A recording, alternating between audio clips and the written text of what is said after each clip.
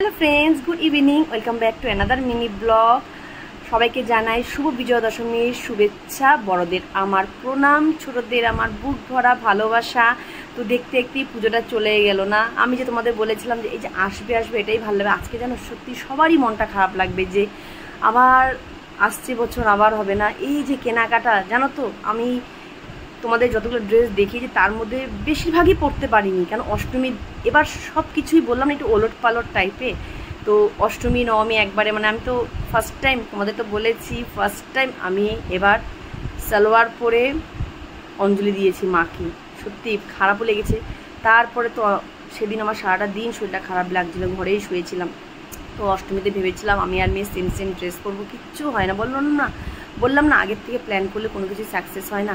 তো এখন বাদে ঘড়িতে দুটা দশ জাস্ট স্নান করে ঘরে আসলাম। আজকে মণিমাসি এসছে কিন্তু স্বপ্নমাসি আসেনি, তাই ঘর বাড়ি, বিছনাপাটি সব চাদর চেঞ্জ করলাম। যেহেতু এই ঘরে আমরা বেশি হয় সব কিছু মেকআপ করা বা মেকআপের জিনিস একটু লেগেছে, বিছনা চাদর চেঞ্জ করে নতুন বিছনার চাদর পাতলাম। এই দেখো, নতুন মানে কি, এটা পুরনোই মানে ধোয়া আর কি, ধোয়া, বিছনা চাদর পাতলাম, ঘর ঝাড়ু দিয়ে ঘর মুছলাম। তারপরে এখন খাব, খেয়ে দিয়ে যাব হচ্ছে ভাসানে। তো প্রতিবারের মতন এবারও তোমাদেরকে নিয়ে যাব আমাদের এখানকার ভাসান দেখাতে। সত্যি মনটা খুব খারাপ লাগছে কিন্তু মানে তোমাদের মানে বলে বোঝাতে পারব না। হয়তো আমার মতন বেশ সবারই খারাপ লাগছে। আসবে আসবে এটাই ভালো লাগল, লাগে আর কি। এটা এসে চলে যাচ্ছে না সত্যি।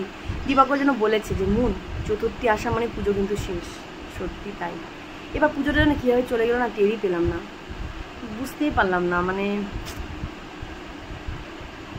সময় কীভাবে চলে যায় ঝড়ের গতিতে।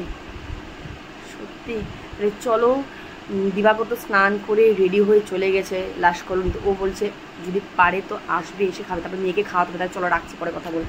খাওয়া দাওয়া কমপ্লিট করার পর ঘরের তিন খুদে বেবিকে রেডি করিয়ে দিলাম, যেই আমি রেডি হতে যাব ঠিক দেখি কপালে দুটো ফোসকা টাইপের কী জানি উঠেছে। তো আমি তো ঠিক বুঝতে পারছি না, তো এরকম হয়ও না কোনো সময় সঙ্গে সঙ্গে গেলাম রাঙাদির কাছে। রাঙাদি বলল, মুন, এটা তোমার কিন্তু ফোরানা এটা মায়া দয়া হয়েছে।